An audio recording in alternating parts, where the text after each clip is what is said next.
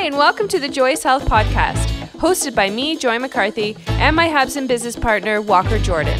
On our show, you'll be invited to learn about nutrition, well being, beauty, family, and business. All the things that we're deeply curious and passionate about. We love to chat and have a few good laughs. And our goal is to bring a dose of joy to your day.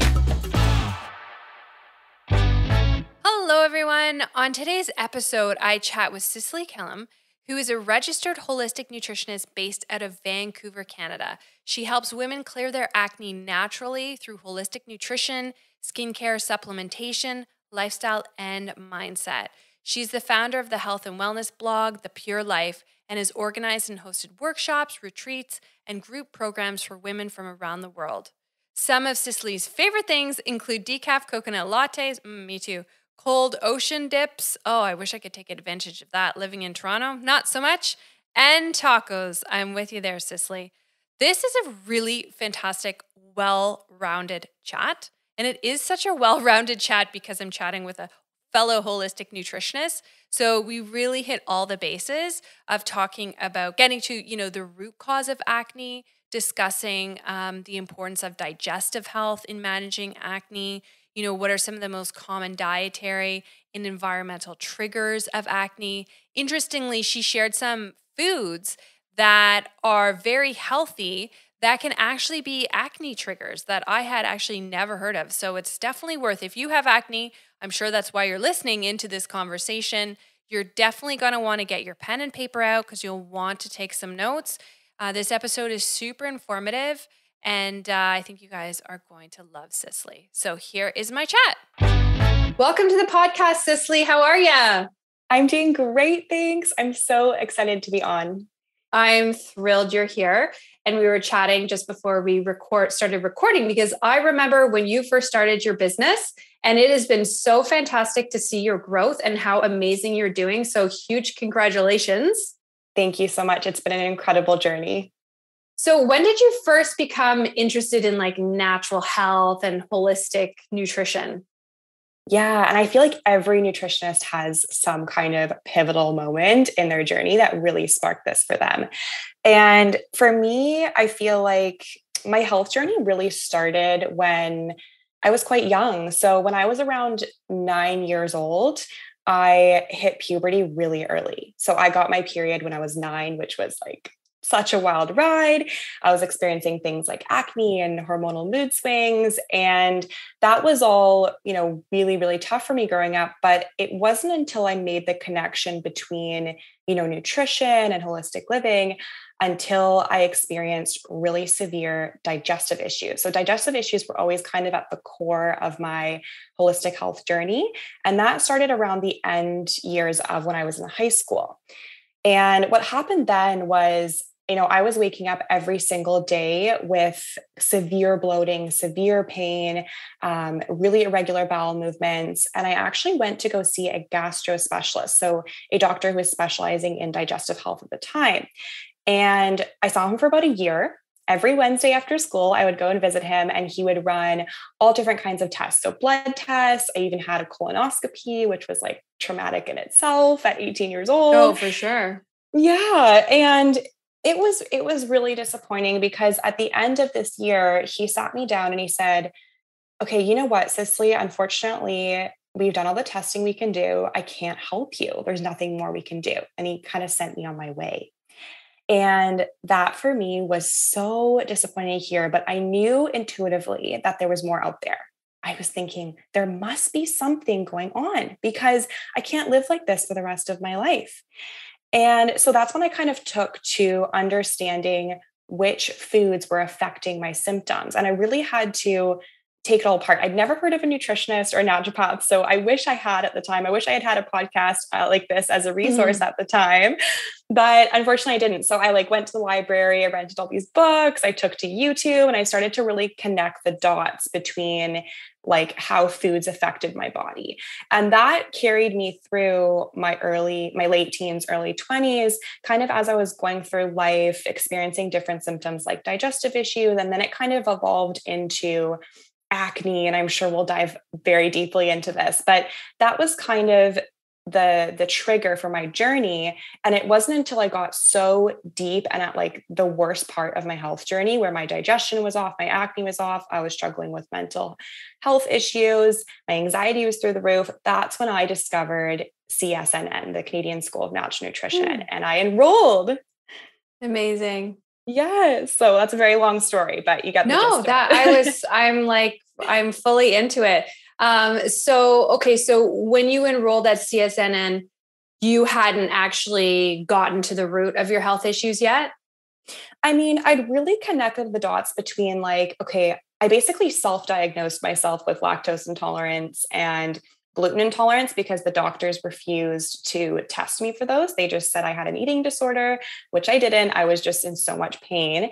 And so I kind of just started to really connect the dots. And I had already started my food blog at the time, and I was kind of posting what I was eating and I was connecting with other like minded individuals. So when I went into the program, I felt like I had a good understanding of you know the fact that food affects us but it wasn't until i really learned it from like an education like in a school setting right. that my life changed forever so you mentioned lactose and gluten so mm-hmm. when you sort of when you cut those things out, um, cut dairy out, did you was it immediate? Were there other things you started to change? Uh, how t- take us kind of through the timeline?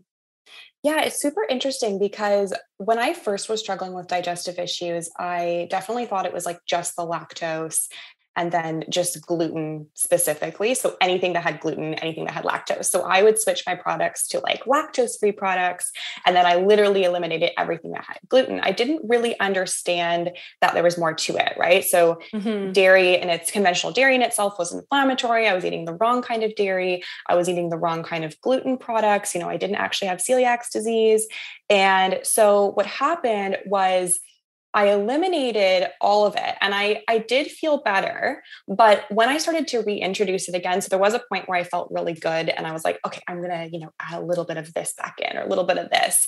And I just, all my symptoms came back. Mm. So the mm. second time around, when I said, Kate, I feel more educated. I'm really going to cut everything out and I'm going to be really intentional about bringing all the good foods in. Um, that's when I really, it was so quick how quickly I saw my skin change, my body change, my mental health change. Like, I think it took like a month to really turn my entire life around. That's amazing. And yeah. it's okay. So, if we can just go back a little bit, you mentioned you got your period at nine years old, which is definitely mm-hmm. young. Um, were you struggling with acne pretty much once you went through puberty all throughout your teenage years, or what was that what was happening there like did it was it triggered by going through puberty yeah, definitely. I think a lot of us do naturally experience acne around puberty just with the shift in our hormones, specifically the androgen, the male sex hormones. Those tend to like surge when we in our are in our like early uh, or late teens.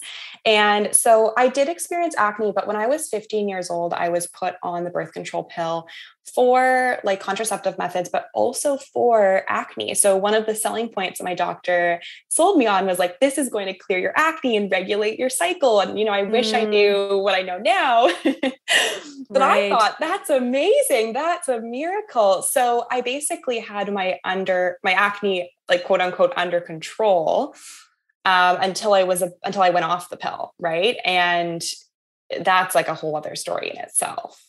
Yeah, totally. I mean, I think so many of us women can relate to that. I mean, I went on the birth control pill, I think at like 14 years old mm. for because I was getting really bad cramps and mm-hmm. didn't go off of it until my late 20s. Like, I cannot believe I was on it for that long and mm-hmm. suffered for so long. And I feel, you know, even years later, I, I feel like I'm still you know there's still issues with hormonal imbalance that i have to make sure like there's certain supplements i still have to take. Um, but enough about me let's get back to you. Let's talk about what role a healthy gut it, it's so great that you before even go, becoming a nutritionist you realize oh like my gut is connected to my skin. And before i actually get to asking you about that connection Did you you were seeing a, a gastroenterologist? Were you ever seeing a dermatologist for your skin?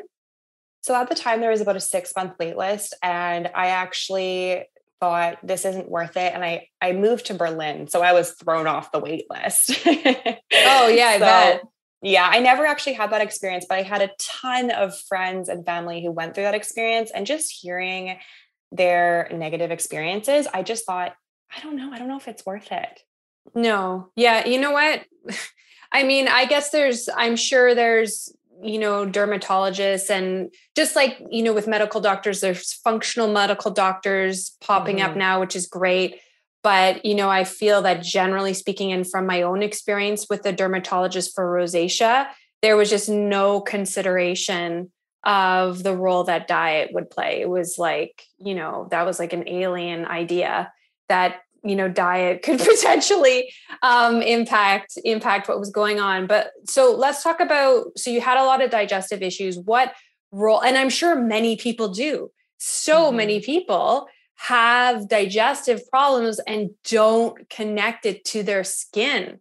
So what role does what role does a healthy gut play in the development or the prevention of acne Yes. And I'm so happy you're asking this question because literally every single one of my clients that comes to me, even if they don't have like seeable or digestive issues that they can feel, there's almost always an underlying gut health imbalance or issue going on. Most of us do struggle with our gut health just because of the lack of knowledge that we've had over the years. I mean, the world of the microbiome, as you know, Joy, we are learning new things like literally every single month. There is mm-hmm. new research, new data.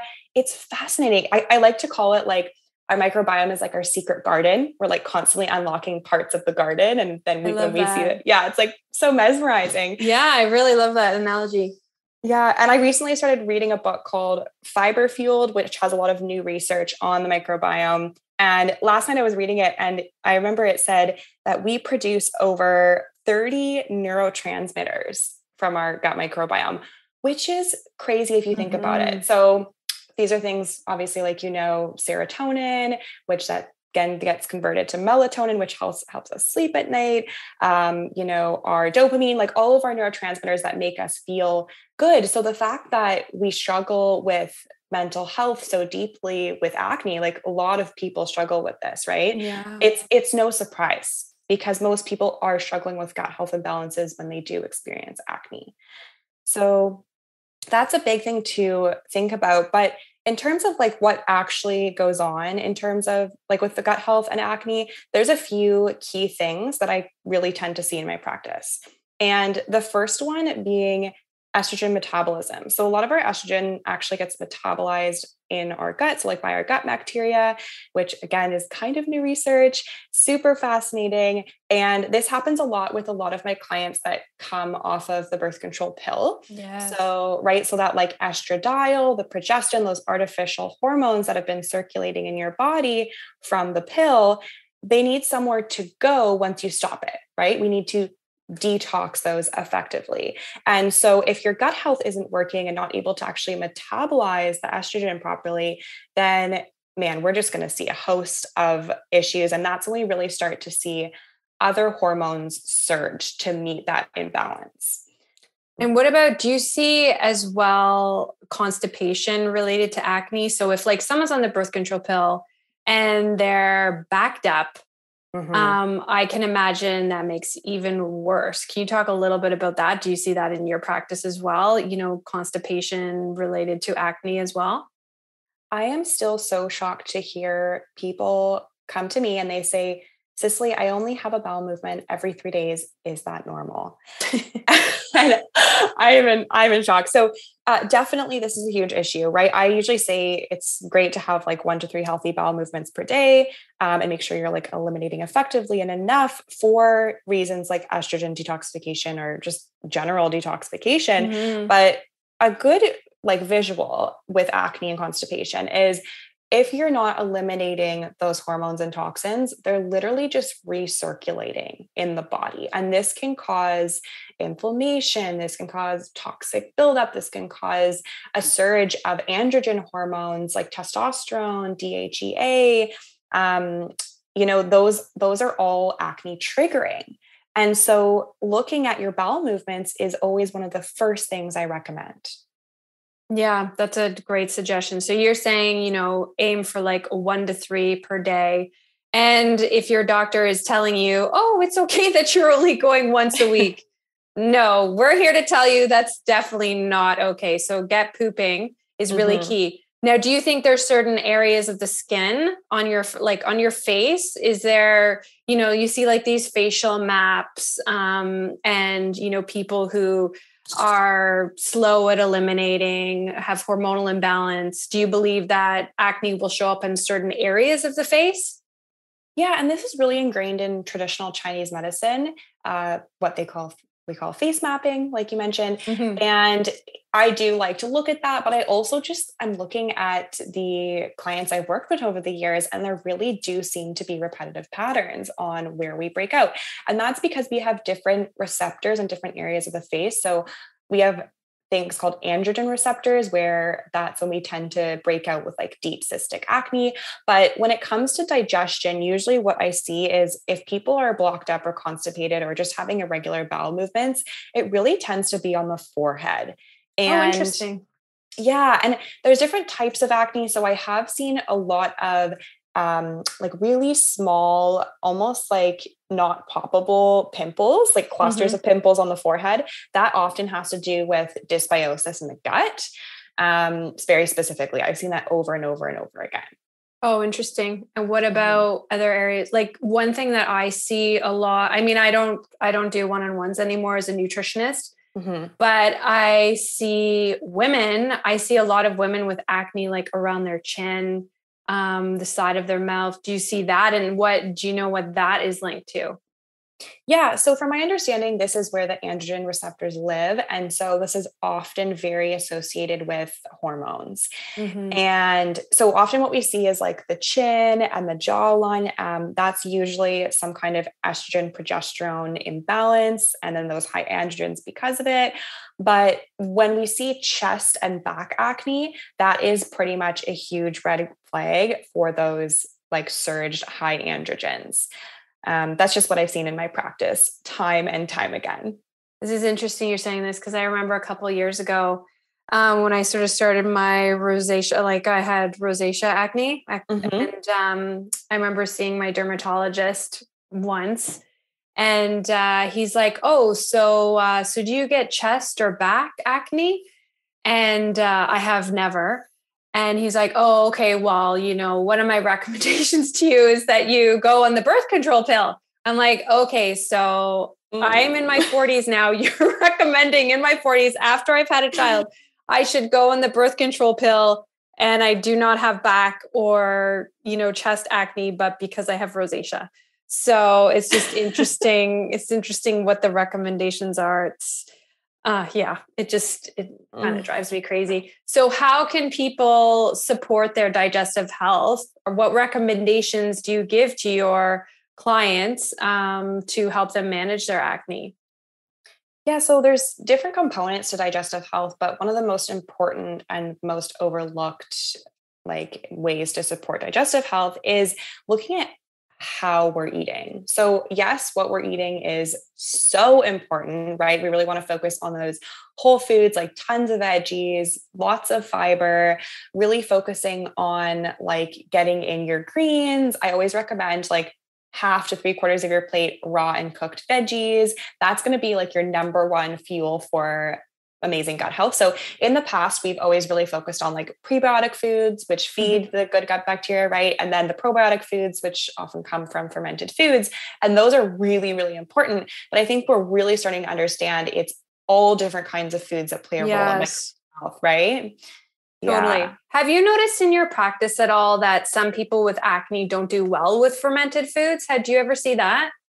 Yeah, this is such an interesting topic. I know you mentioned this as well in your rosacea podcast, and it was something that I was really curious to explore. But what I've done in my practice is we've just really focused on strengthening the gut through, like, again, like how we eat our food. Like, are we you know eating mindfully chewing our food and then like using different herbs and supplements to kind of nourish the gut lining and then including lots of fiber rich foods and all that jazz so that when you do integrate the fermented foods your gut's in a place where it can totally handle this and it's not yes. kind of fueling the fire right?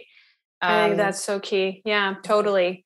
That's the thing like there's you know a lot of times people think oh you know there's like 30 foods I can't even eat. Like I'm just mm-hmm. so sensitive to these foods. But really, you like what you're saying is like focus on your gut health, heal your gut so that you can enjoy fermented foods and you can eat foods that have histamines. Now, at this point, do you eat any dairy at all or or any gluten or are those things that you you still always avoid? Like, do you think that as your gut gets healthier, you can eat those foods, or do you think that for you, those foods are always going to be triggers. Yeah, definitely. So I have genetically acne prone skin. So I always have to be cautious and, you know, really focusing on nourishing my body so that I don't experience a breakout, um, as do a lot of people who have genetically acne prone skin. So the thing with, like you just mentioned, I feel like I've gotten my gut into a really good place now, and it's taking years, right? Like it can mm-hmm. take years because if you think of all the years we've put our body through, like just awful diets and stress and like it can take years to really get healthy and i think people often forget about this right? They're like i want gut good gut health in a month right? I want right. in a month but it actually takes months uh, or could take years even to really bring your body back to balance. So, what I eat now is, and what I usually recommend to my clients as well, is swapping cow's dairy for goat or sheep dairy. And as you've talked about this in your podcast before, Joy, um, it's really important to recognize that they have different types of casein, right? So, goat and sheep dairy is more A2 casein, while cow dairy is more pre- predominantly A1 casein. And so we just see, tend to see with A2, it's just way easier on acne prone individuals. And I'm personally also very lactose intolerant, and I mm. tend to be able to eat goat and sheep dairy no problem. But this did take a few years of completely cutting out all kinds of dairy to really give my body a break and then like slowly integrating these foods back in in their whole most best quality, you know, forms. That's really what's key, right? I mean, mm-hmm. if you if you do all this work to support your gut health and then you're like, okay, now I can eat cheese strings. yeah. Probably not going to help. But it's so I mean, dairy is such a well-established acne trigger, right? It's not mm-hmm. even like it's it's just experience. Like this is actually there's research that shows that, you know, acne is triggered by dairy. So I, I feel like anyone listening to this, that would be probably one of the first things to consider. And still to this day, like I find myself, I have to be so careful with dairy, like cow, like just like you, like cow dairy. If I eat some, I'll probably wake up with a zit the next day. I mean, it's mm-hmm. not the mm-hmm. end of the world. I've never had acne like cystic acne or anything. For me, it's always been more sort of rosacea and rosacea type acne. Um, but dairy is is such a big one. And also like just the quality of dairy nowadays right? Pasteurized homogenized. There's just nothing really left that's valuable un- unless you're choosing really good quality like you mentioned if you're having like a good quality you know sheep milk cheese a raw sheep milk cheese that type of thing. So um, are there any other common food triggers that you see um, in your practice aside from those things for people? Yes, there seem to be a few common ones. We've all heard them before, you know, dairy, sugar, and gluten. But I thought we could maybe pick this apart a little bit. And then once you've got that covered, I want to give some recommendations as well on things you might not be aware of. Yeah, so, yeah, totally. Yeah. So, for those of you who haven't already addressed the dairy, refined sugar, and refined gluten, that is the number one place to start, right? So, any kind of those processed foods, you just want to swap for healthier alternatives, um, swapping out those refined vegetable oils that Joy talks about a lot for like olive oil and avocado oil, um, focusing on cow dairy instead of, oh, sorry, goat dairy instead of cow dairy. And then instead of refined sugar, just really checking your labels and swapping to more natural sugars like raw honey is my favorite because you're getting those immune mm. supporting benefits, right? Yeah, totally. Do you see a lot? Can I just interject for a second mm-hmm. about the sugar? Do you see with your clients, do you see a lot of sugar addicts? Oh, yeah. And they don't even know it. yeah. So there's often an issue with the sugar feeding the gut the bad gut bacteria mm. right? And so they they think they're craving it but really it's their gut bacteria controlling those cravings. So i always tell them it is possible to get rid of your cravings by changing your gut microbiome. Yes so true. My gut mo- mm. microbiome really likes chocolate Oh, mine too. I read that that's actually a thing. It yes, it on, is. Yeah, so yeah. crazy. I know, I know. That's why I'm like, it's it's my gut bacteria. Mm-hmm. Um, sugar. So we're talking about sugar. So you're seeing like a lot of sugar addicts, and yeah. that's their gut bacteria saying, "Give me more sugar." Definitely. And then also, you know, when we give into that, and we often, I often see with a lot of my clients blood sugar imbalance mm-hmm. or like mm-hmm. insulin resistance. And this is very common in like PCOS. And right. just honestly, most, most people have imbalanced blood sugar. Um, and it's not so much like how much sugar they're eating, but it's kind of more like instead of eating lunch they'll have like a cupcake and they'll think like okay i already had my lunch like my cupcake so i'm not going to eat lunch. And that's like a recipe for disaster for your blood sugar and your skin. Oh yeah totally. Just mm-hmm. eating sorry you have clients that are just eating like desserts and nothing I mean, else yeah. And so, or they'll have like, you know, avocado toast, which is amazing, but they'll use like the white bread and then there's no right. protein and like not much, not much fiber. And there's just like, there's so many things that we can add in or swap out that will really make a huge difference to our sugar cravings and the way our body responds to the sugar. And now for a short break. I've always been obsessed with skincare products, but because of my sensitive skin, I have to be super careful about what I use. That's one reason I was inspired to create my own line of all natural products that are safe and gentle enough to use on all skin types. This trio of products includes the gentlest Fresh Face Cleanser, a super refreshing Magical Mist Facial Toner, and the ultimate in skin nourishment, our Hella Hydrating Serum and that's our incredible skincare trio. We crafted our line to include powerful plant based ingredients like certified organic rosehip oil, comfrey root, rose geranium, and chamomile. It was also important to me that our products be made locally with natural organic ingredients that have functional benefits that include things like anti inflammatory action, super hydrating, and antioxidant power to prevent premature wrinkling. Every single ingredient in all three of our skincare products has a purpose. You will find zero fillers in our products. And when it comes to creating a safe, all natural skincare line, what we put in is just as important as what we leave out. You know, the conventional beauty industry is the furthest thing from clean. In fact, according to the David Suzuki Foundation, up to 80% of conventional personal care products contain the toxic 10 ingredients. This includes everything from parabens to coal tar derived colors to formaldehyde releasing agents and hormone disrupting ingredients such as artificial fragrances that contain phthalates.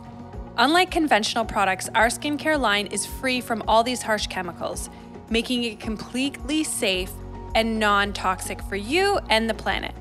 With our skincare trio, you're getting the softest, smoothest skin in as easy as one, two, three. So, first, you start out your routine with our Fresh Face Cleanser. It's certified organic and super gentle on your skin to leave it feeling supple and refreshed, never stripped and dry. Our cleanser is made with ingredients like cold pressed organic golden jojoba, which helps to really balance your skin and seal in the moisture while removing excess oil and your makeup and pollution. And comfrey root helps to promote a healthy skin tone and chamomile extract reduces redness and irritation and can actually help to speed up cell regeneration. So you can feel confident knowing that you're safely cleansing your face and removing makeup without any harsh chemicals and know that that like tight feeling you get on your face when you use other products is actually not a good thing and that means you've actually stripped your skin of that natural oil barrier and impacted your skin microbiome which you definitely do not want to do. So, next, you give yourself a refresh with our ultra soothing, alcohol free Magical Mist facial toner. You'll be ready to nourish and balance your skin with a super powered combination of skin loving, antioxidant rich ingredients. We included anti inflammatory rose geranium to calm skin irritation, calendula to soothe, and witch hazel to balance and tone. This alcohol free toner is infused with ingredients beneficial for a variety of skin conditions, from acne to eczema, making it safe for all skin types. And it also provides the perfect dewy surface to apply the third and final product, our Hella Hydrating Serum. I also want to mention that personally, I used to get, you know, once a month, get that hormonal acne with a couple zits on my cheek, and I actually never get that anymore. And that is thanks to the rose geranium in our magical mist because it is antibacterial. But next up, and finally, we're going to talk about our Hella Hydrating Serum. So, this simple but powerful serum is made with a combination of just two ingredients cold pressed organic rosehip oil and hyaluronic acid to really seal in moisture and hydrate your skin. The anti inflammatory and antioxidant rich ingredients in this serum will calm any irritation, reduce fine lines, and give you a natural glow. Rosehip oil is a source of vitamin E that will help to soothe and calm your skin, which can make it great if you're dealing with anything like rosacea, eczema, acne prone skin, or even um, acne scars. Rosehip oil is amazing for that. And hyaluronic acid is so immensely hydrating that it makes your skin feel plump and smooth and supple. So, this three step skincare routine is all you need for soft, glowing, healthy skin. So treat yourself to the best in plant based, simplified organic skincare and harness the power of nature for incredible results. So you can check out our skincare trio at shopjoyoushealth.com slash skincare and you can get a discount 10% off your entire order by using the discount code podcast beauty 10 and now back to our guest can we talk about some of the recommendations you have for, you know, getting rid of those sugar cravings? Because it's so easy to just say, like, don't eat sugar, but you know, people are like, oh, well, yeah, okay, whatever. I try and c- cut out sugar and I'm just like this sugar monster. Like, I think, you know, I'm sure you've got like some great suggestions for like, how can you make your meal more blood sugar balancing and how can you how can you overcome sugar cravings? Because you can. It's not just a matter of control. Mm-hmm. it's a mm-hmm. matter of getting those hormones balanced so that you don't feel like you want to have that cupcake. It's not it's nothing about like self control so can you talk a little bit about that? Yeah i think one of the most profound kind of swaps that I've seen in my practice, especially for women who are like in their reproductive years, um, is eating enough protein and eating a protein rich breakfast is essential, mm, right? Yes. And I was vegan for many years and people would always joke, where do you get your protein? I'd be, I'd laugh and I'd think it was hilarious. And, but honestly, looking back, I was not eating enough protein. So, yeah. right. So just being really cautious or conscious of how much protein you're eating and like really making sure you're having like either plant-based or animal-based protein at every single meal, especially first thing in the morning, right? We're so used to making like a smoothie or oatmeal mm-hmm. or pancakes. It's like really make sure you're using a clean, like acne-friendly protein powder, or you're just getting some real like hemp hearts or eggs, or just something that's really going to help stabilize your blood sugar first thing in the morning. So you're less likely to crave sugar throughout the day is a huge one. That is such a great, such a great um, recommendation, and I'm like, yes, Joy, that's what you need to do. so I find like Monday to Friday is like the mornings are just like so busy, but the weekends I always make time to have like scrambled eggs, and I could go like six hours and feel totally satisfied, like completely. Yeah. This is a good reminder for me. Like eggs are my total, they're my one of my favorite foods to eat. So it's just a matter of like making time for it um, making you know time for your own self-care. You mentioned an acne friendly protein powder. Do you have like some do's and don'ts with when it comes to that? Definitely. So obviously avoiding whey because whey is from cow dairy. That seems right. to be a huge trigger for a lot of people. Um, i personally like my favorite protein to add to smoothies is just hemp seeds because i think three tablespoons mm-hmm. is like 10 grams of protein, if I'm not mistaken. Yeah, yeah, I think so. Yeah, which is amazing, right? So just it makes it nice and creamy. But I would choose usually like some kind of fermented or sprouted pea protein. So it's easier mm-hmm. to digest, or pumpkin seed protein powder is amazing because it's high in zinc, which helps fight acne. Right. Um, That's a yeah, those are all amazing. But one thing to really look out for is I've noticed a lot of protein powders these days contain added superfoods that could mm-hmm. actually be big triggers for acne. So I see a lot of the top ones have things like maca powder, which is amazing, but maca is actually a testosterone booster. So for people who already have really bad cystic acne or they have PCOS or something, I find that really does trigger acne for people.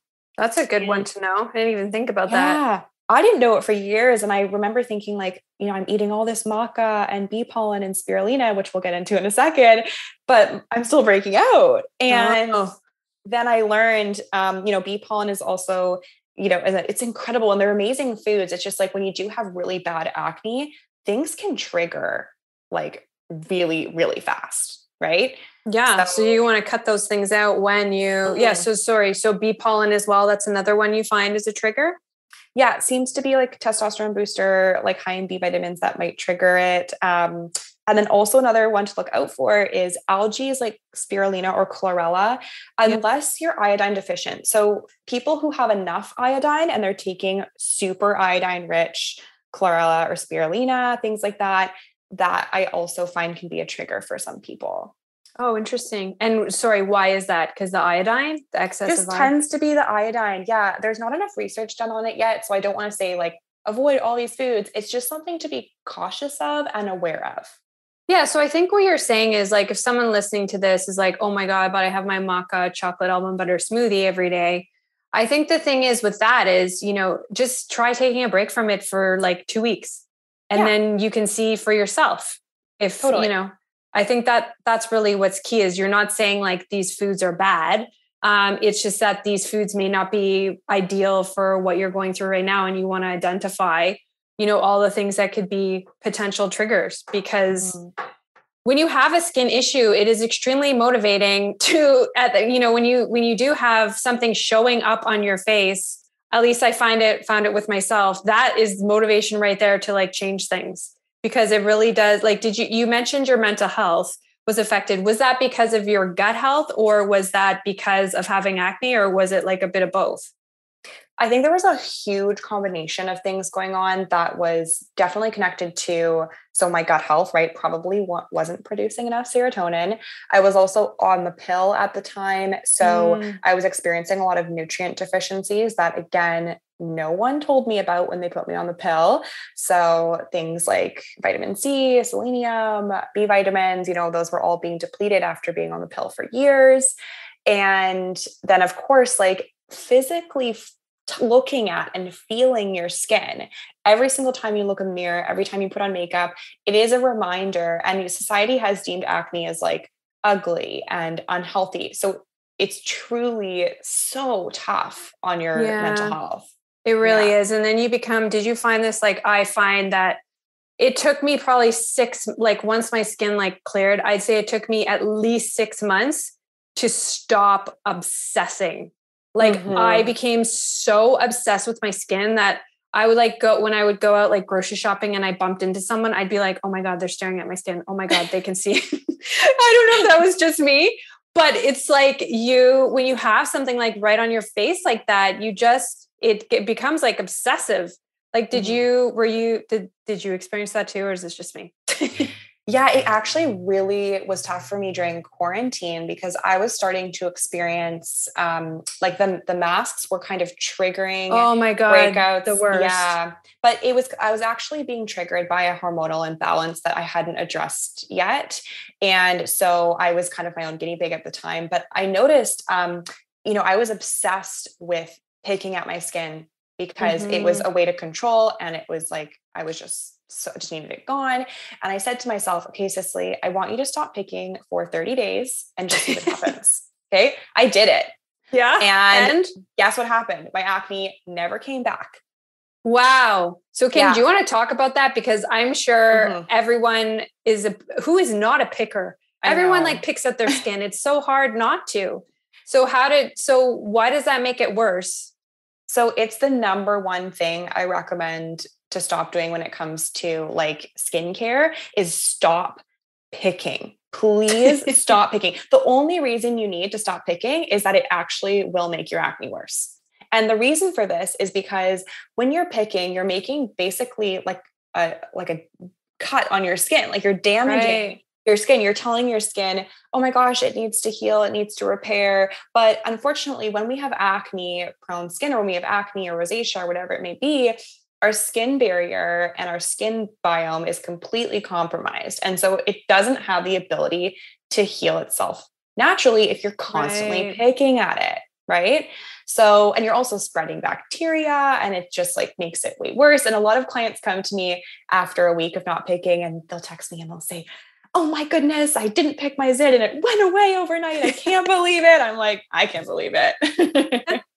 So do you okay, so for those who are the pickers, like do you have what do you do you have like specific recommendations like natural recommendations when you do when you are when you are dealing with acne and you know that you got to do all the stuff like to support your gut you know clean up your diet? Are there things that in like the acute phase um, that you recommend? Like do you like love tea tree oil? Do you not love it? And if not why? Like are there certain things that you recommend or don't recommend for your skin? Yes. To answer your question first about tea tree, I have like a love hate relationship with it because uh, it's too. worked wonders for me, but it also is really intense. So, yeah. right. So, a lot of people do well with it, a lot of people don't. So, what I tend to recommend instead is pimple patches. And okay. So those little, I think they're hydrocolloid. I might be saying that incorrectly. Oh, cool. Pimple. Is yeah. that the brand like Pimple Patch? No. So there's oh. Mighty Patch, there's Zitsticka. Those are kind of the two that I've used that work really well. Some of them have like salicylic acid in it, but it's mainly because it stops you from picking. You just do your skincare, slap right. a patch on, you go to bed, and then you just don't touch it. And hopefully it's come to a head or it's gone the next day. And it also, you—they usually have some kind of antibacterial or like pore cleansing aspect to them. I've never heard of this before.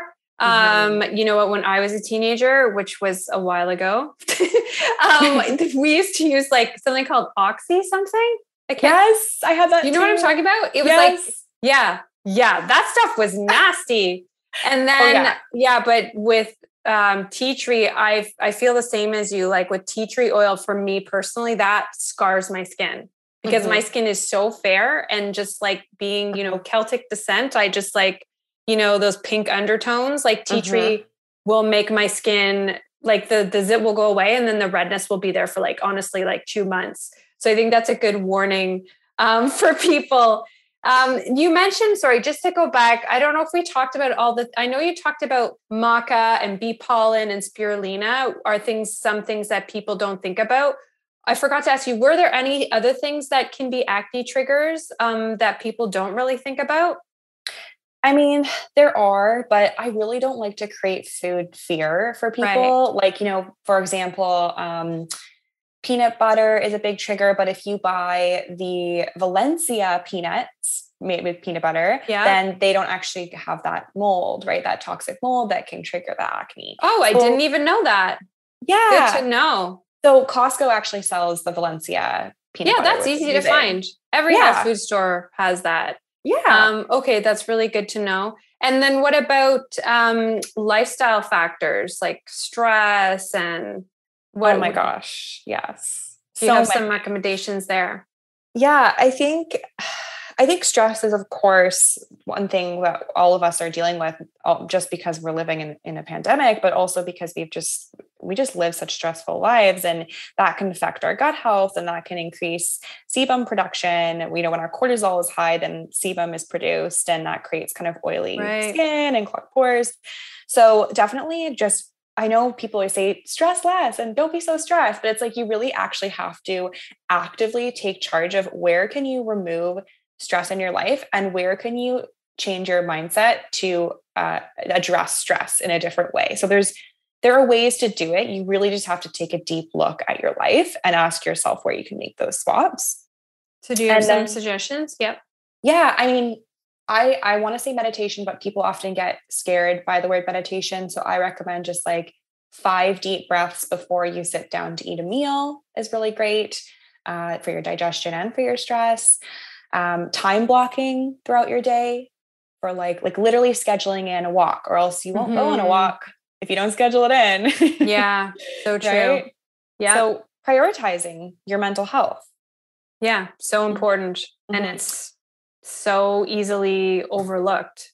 Mm-hmm, I think there's a lot of people. I think the other thing is, at least I I find myself like, I'm like, oh, I'm not stressed, and then I'm like, and people, my husband's like, oh, wait a minute, like you, you know, you've had this like, I don't know if you're like that, but I just feel like a lot of people like they think of stress as like this big horrific something, some horrific event has to happen. Mm-hmm. But stress can be like this low grade just like nagging stress that you have every day um, and and doing things to address it that i think i feel like that's sort of like an overlooked area. Like maybe it's like oh like i'm just i'm so behind in, i have no healthy foods i haven't grocery shopped da, da, da, da, like just like you know this monkey brain spinning on monday thinking you know you don't you aren't prepared for the week. So you know just making sure on the weekend like you said time block like schedule okay this is what i'm i'm going to go grocery shopping on sundays. You know what i've done actually and i only did this starting in the pandemic because it became available? I never thought i would be that person to buy groceries online but you know what? I i mean i still because i shop at a bunch of different places but there is the place that i do one of my biggest shops I've been shopping online and it just saves me so much time. Yeah. Like I used to think, oh, it's like so lazy, like just go to the grocery store. But now I'm like, okay, actually, this is going to save me like over an hour and I could be doing something else. I could be going for a nature walk while someone is collecting my groceries and I'm only paying like an extra 10 bucks for it. So that's that's one thing like I have found that has like that's like lessened my stress. So I think you know just finding little ways little things um, that can just take take stuff off your plate because i find with people who are really busy right you just have so many your to-do list is like never ending so just mm-hmm. finding ways to or, or asking for help you know yeah. like getting someone like with with my husband walker like if i if i really want to have a workout when we like i don't like working out in the morning i like working out at the end of the day I'll say to him when we're we're coming home, I'll be like, you know what? Can you make dinner tonight because I really want to do workout? And mm-hmm. he will mm. always say yes. And he does the same with me. And I'm like, yeah, no problem. So I think if you do have a partner or someone else you can kind of rely on, like it's okay to need people, like get mm-hmm. people to help you out. Yeah. And I, I feel like this is also where we get it wrong. Like, let's say we do have that hour free up right? You know, you've ordered the yeah. groceries online so you can do a workout or whatever.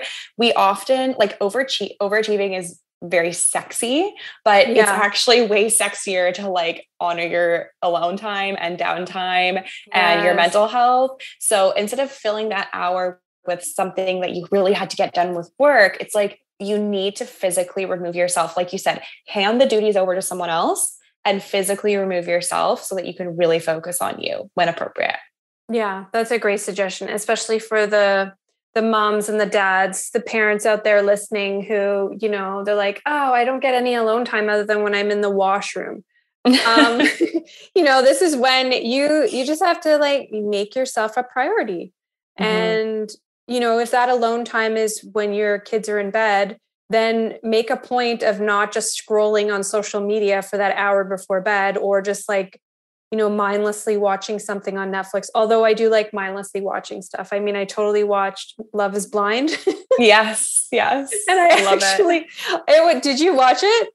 I watched the first season, but I gotta say, I was a big fan of Too Hot to Handle. That was my. Oh, I never show. saw that. Oh my god, that's it's bad. So yeah, yeah, but you know what? Sometimes you just need that. That you know, even though it does seem like like a little trashy, sometimes you just need stuff to like shut your brain off. I mean, yes. that's what I find for myself. Like, I really love like fantasy shows. Like, I love Lord of the Rings and like mm-hmm. all these mm-hmm. different, I love those kinds of shows. And I find they just honestly like transplant me to like a totally, I feel like I'm in, I'm in the movie. I just love it so much. Um, now I totally got off track on That's okay. I, I actually wanted to say I love that you said that because one of my tips that I give to clients is read before bed, but do not read a self-help book because oh. I mean for some of them it is very appropriate and I do love yeah. it but a lot of us are already constantly feeding ourselves with information right and sometimes we just need to escape into a good novel I love that that is such great advice Yay. Like, yeah thank you for that it's so true because you can get so like if you have a really great book that's such an amazing way to like spend an hour before bed or if you have some time on the weekend instead of like sitting in front of the TV or working through your to-do list, it feels like so good to just like curl up on the couch with a good book. Definitely. I love that. That's and that's so de-stressing. That in a way, if you think about it, it really is almost like a it's almost meditative because mm-hmm. you you know, even though your mind isn't blank, obviously, it's just you're not thinking of all the things you need to do. You're not stressing. You're not thinking about the past or the future you're exactly. really just like in the present moment reading. That's a really great recommendation. Um, mm-hmm. are there specific, let's get back to the nutrition for a bit. Mm-hmm. Um, are there any foods or supplements you specifically recommend to eat? Now, I know we talked a lot about like what to avoid, but are there certain, um, you know, superfoods or even just regular foods or natural health products that you recommend for dealing with an acne flare up or and i should say and in, in addition to that perhaps for prevention too? Yeah I mean, I since, since like food fear and restrictive dieting is so big with people who have acne because they're mm-hmm. so scared to eat anything to cause flare up, right? Um, totally. I really do like to focus on like the 80 to 20 approach where we, you know, focus on 80% of the diet is like nourishing whole foods, cooked at home, like really just delicious and good for your body, where 20% is more like soul food, you know, going to the birthday party, going out for dinner, going to your in-laws. And it's really important to keep that balance. And everybody looks different for everybody. But when I do say this to my clients, it's like a breath of fresh air for them because they're so used to being like, hey, absolutely no dairy, absolutely no gluten, right? So I think keeping that 80-20 approach is really, really healthy. But in terms of like specifically what what their acne triggers are, there's a lot that you can do of course, we always want to focus on a whole food diet. And I know you always talk about this, Joy. You're such a good example of this, just focusing on real foods. Like, ditch the packaged foods if you're unsure and just focus on those whole food protein sources like eggs and chickpeas and tempeh or you know getting in just and like you said on one of your podcast episodes an apple has only one ingredient apple yeah right? yeah exactly. So just really focusing on like what's your go-to snack? Okay like apple and nuts. You don't need a protein bar. Like you can literally get the same thing from like a piece of fruit and hard-boiled egg and some nuts. So really focusing on those whole foods.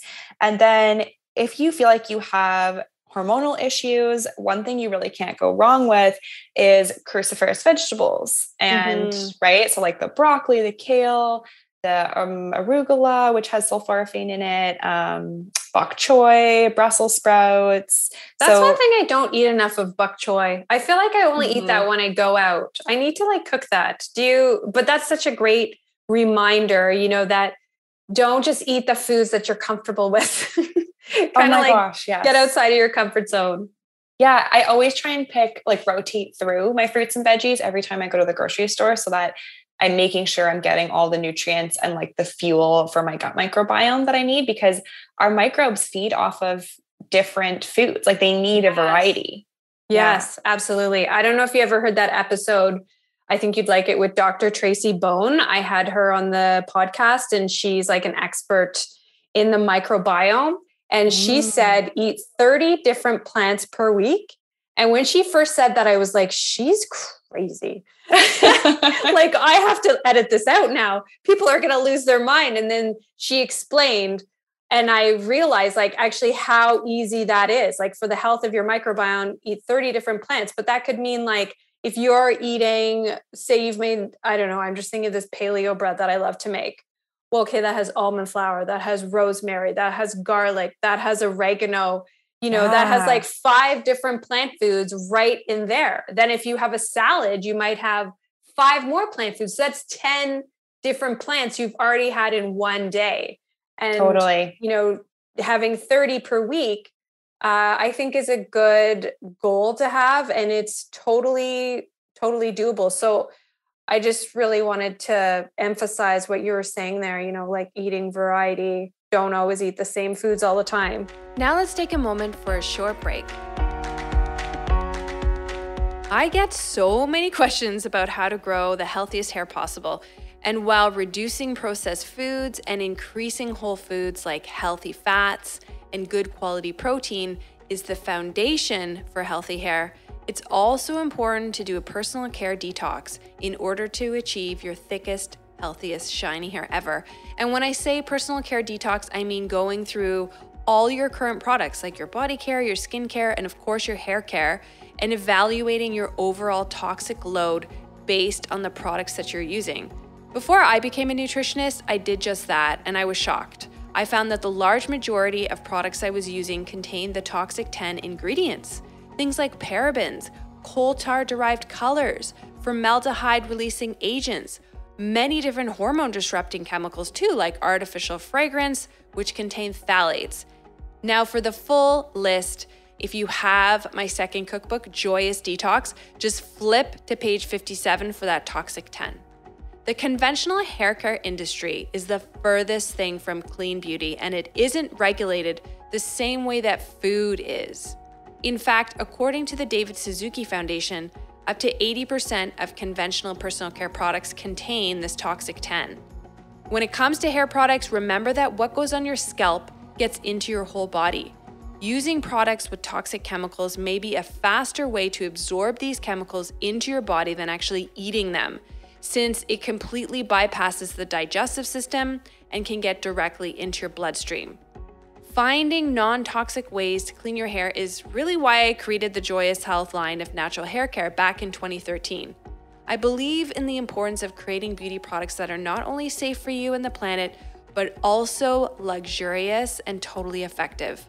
I am so proud of the line of our hair care products I created because the real secret ingredient for soft, shiny hair is in its simplicity.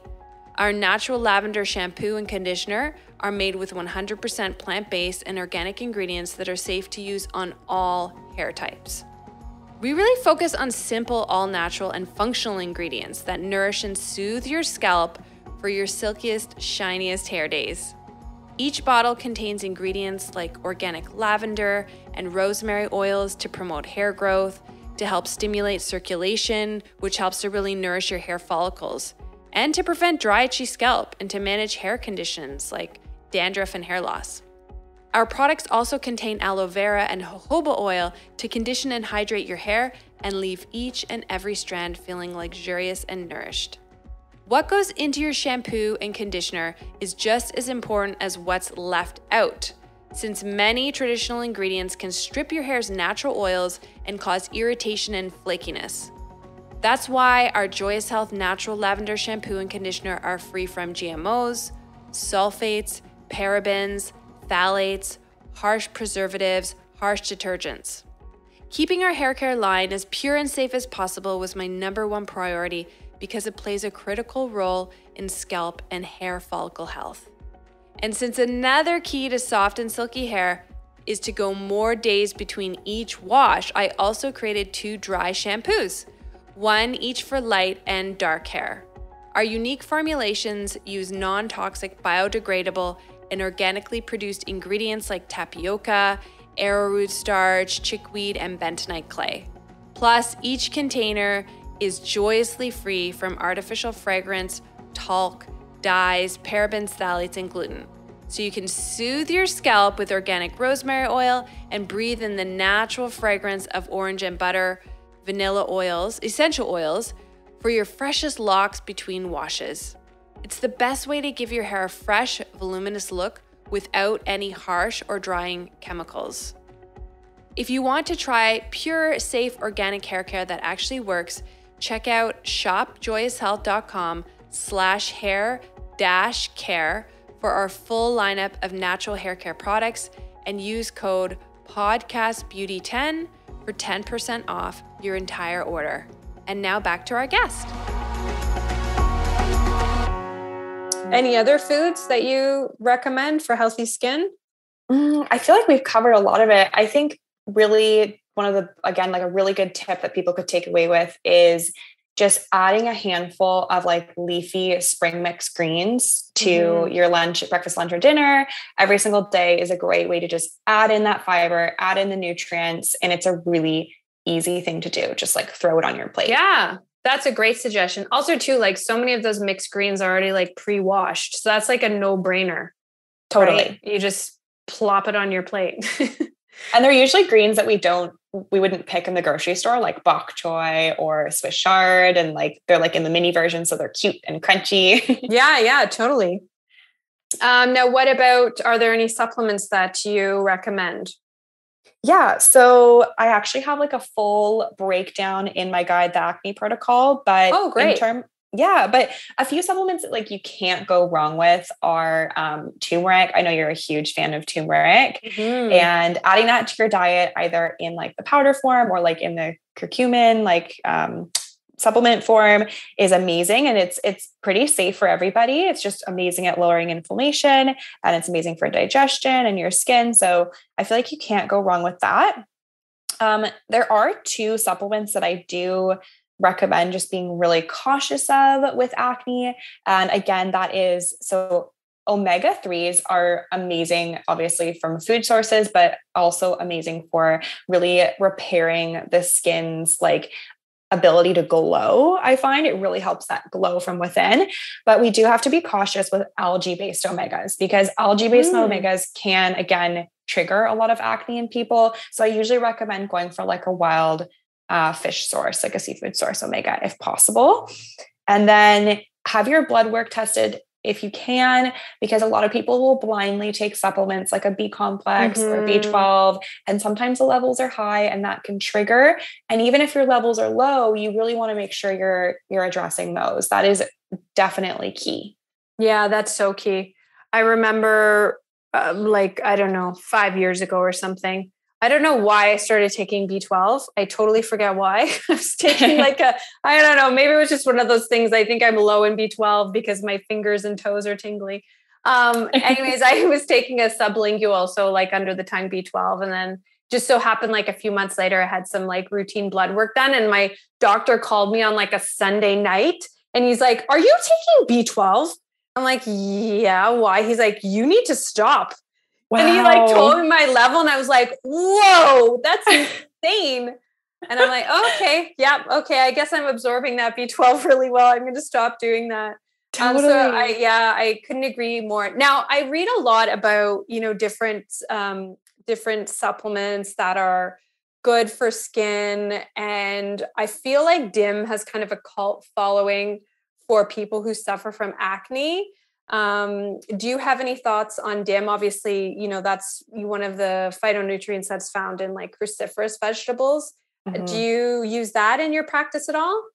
I do love DIM. It is really powerful. So I usually include it as an ingredient in a like hormone supporting supplement that will have other ingredients. Like um, I really love the EstroSmart supplement from Smart Solutions. That one is yes. that one that I talk about all the time. I take that. Um, I take yeah? that. Okay. I, you know what? Amazing. I've been taking that I want to say about a year and a half, but you know what? I actually only take it three times per week now. I used to take it every day and I went down okay. to three because I think okay. it was giving me headaches. But yeah, let's talk about that. So that's something you you recommend to is that do you just do that when you see there's hormonal imbalance as well? I mean, I guess there's always do you always see some form of hormonal imbalance with acne just like you always see digestive issues? I mean, yes, like just from the symptoms, it's hard to tell unless the client does have testing done. But there obviously are so many symptoms we can look at uh, that will will give us insight into the body. But I personally love that supplement for and so you definitely don't take that if you're on or like hormonal birth control because mm-hmm. that could interfere but it's very detoxifying like supporting the detox phase one and phase two. And it's amazing for like, like estrogen metabolism and reducing inflammation. And I, it's just a really well-rounded supplement that i think is a really beautiful and powerful blend for women Yeah. But do always talk with your practitioner about it just because um, again, like if you're on hormones or something, it you do have to be careful. Yeah, totally. Um, that's a great suggestion. Any other, what about like, are you a big fan of probiotics, vitamin D? Are there any other things that you really like? What about zinc? I know we talked a bit about zinc. Like, do you recommend people take a zinc supplement or look more to food? Yeah, zinc is really, really important. I usually usually recommend it like short term, um, and then getting it through food after that. It's also amazing for the immune system, and as we, as some of us may not know, the skin is a part of the immune system, so that's yes. crucial. Yeah, and then I'm a huge fan of probiotics. I think also one thing that could be important for people to remember is that I think it's actually good for us to switch up our probiotics every once in a while mm-hmm. It's giving our body different strains, right? So I, I found a huge benefit when I swapped my probiotics um, last year.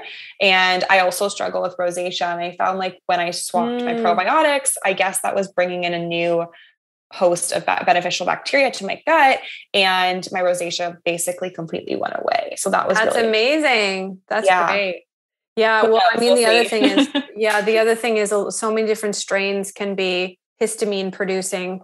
Yeah. Strains. So a lot of people can react negatively to, like with skin issues specifically, um, mm-hmm. um, to things like probiotics. So it's a lot of times it's just like trial and error. You know, Definitely. Well, that's why it's good to work with someone like you who is a practitioner because you can help guide people because no two people are going to be, you know, the exact same.